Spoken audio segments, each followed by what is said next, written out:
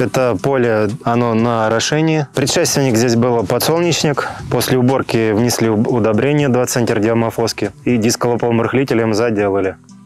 Весной сеяли э, с стартерным внесением а ЖКУ 1 центр на гектар. Норма высева семян была 80 тысяч.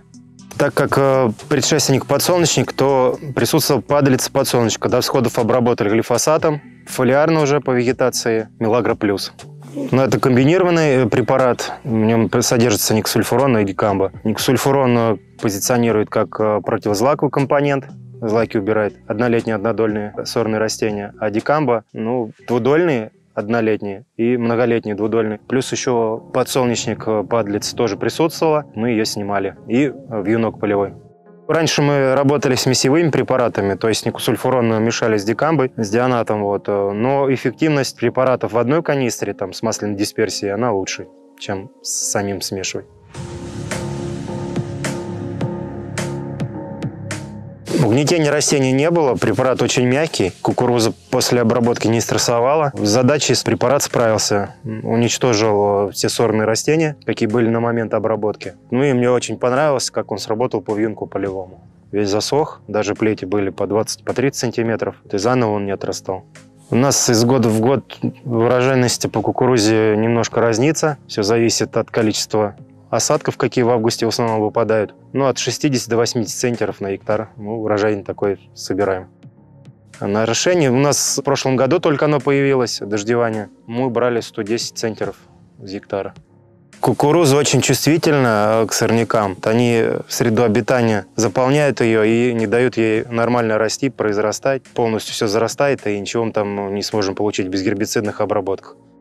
Ну, я думаю, если только бороться с сорняком севооборотом и, значит, какими-то механическими обработками, ну, разница, я думаю, что в пополам будет. То есть, если мы эту 8 тонн получим с гектара, то это может быть 5-4. Ну, и зерно будет, да, влажное, вот, потому что, например, если уборочная влажность на там 25-27%, то я думаю, где она будет расти, где механические обработки там были вместо гербицидных, то там будет влажность и 35 и 40. Такое уже проходили, видели это все.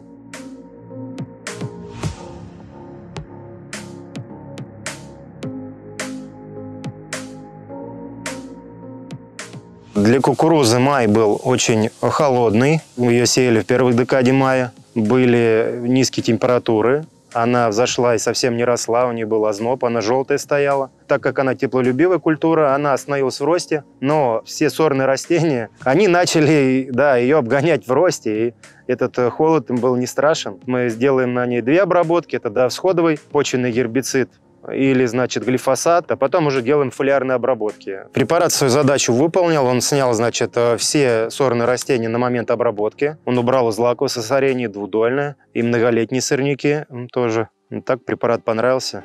Я думаю, что в дальнейшем тоже будем его покупать, применять.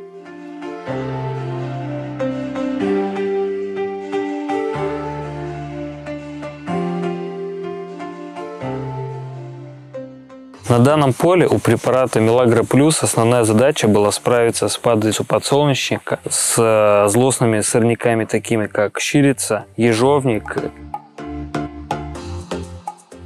Мы находимся с краю, поэтому весь видовой состав сорняков на данном поле мы можем наблюдать. Как вы видели, заходя в междуряде, данных сорняков мы не наблюдали.